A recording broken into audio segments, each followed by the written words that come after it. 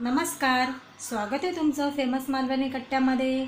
आज आपण बनवूया गरमागरम असं पिठलं त्यासाठी आपण एक वाटी बेसन घेतलेलं आहे हळद चवीनुसार मीठ कोथिंबीर दहा बारा कढीपत्त्याची पानं एक कांदा आपण बारीक चिरून घेतलेला आहे. थोडंसं आपण इथे मिरची आणि लसूण याचं पेस्ट घेतलेली आहे जाडसर वाटून. जिरं मोहरी तेल आणि आवश्यकतेनुसार आपल्याला पाणी लागणार आहे. सर्वप्रथम आपण एक बाऊल घेऊया. त्याच्यामध्ये बेसन टाकूया.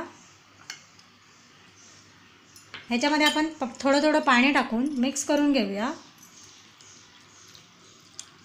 ह्याच्या गुठल्या आपण मोडून घेऊया. या प्रकारे आपल्या गुठल्या मोडून झालेल्या आहेत. हे बघा. यासाठी आपण पाऊन ग्लास पाणी वापरलेलं आहे. कढई आहे.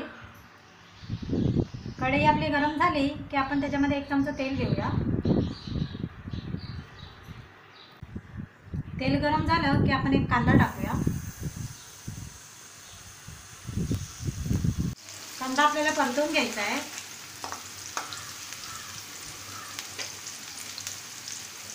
थोडंसं मऊ झाला की आपण त्याच्यामध्ये मोहरी आणि जिरं टाकूया.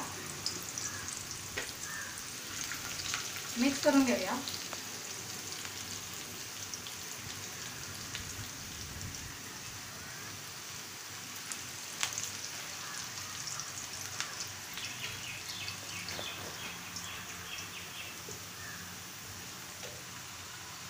आता याच्यामध्ये आपण मिरची आणि लसूणचं पेस्ट टाकूया. परतवूया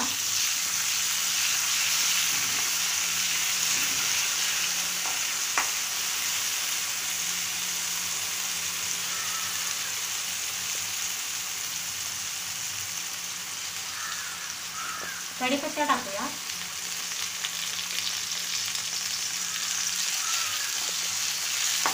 परतूया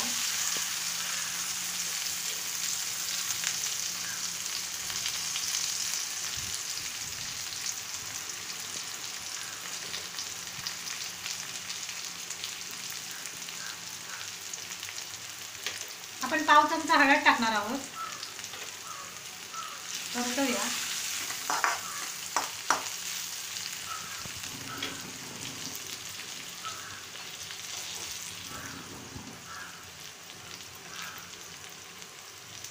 आपला कांदा मऊ झालेला आहे. आपली फोडणी छान तयार झालेली आहे. आता ते आपण बेसन सोडूया याच्यामध्ये.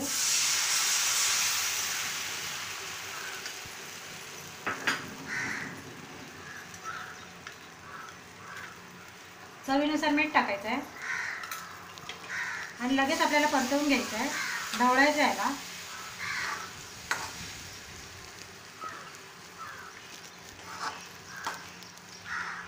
पिठलं आपल्या दोन मिनटात तयार होणार आहे. आणि हे गरमागरम खायला छान लागतं. हे बघा.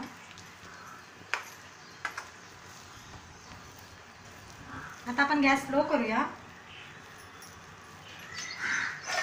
याच्यावरती आपल्याला दोन मिनटासाठी झाकण ठेवूया आपण.